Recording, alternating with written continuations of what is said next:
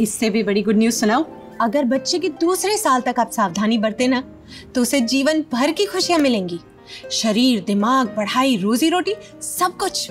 दूसरी good news इन खुशियों की नींव एडवांस में ही बन सकती है। होने वाली माँ के पौष्टिक खाने आयन और कैल्शियम की गोलियाँ और नियमित डॉक्टरी जाँच से।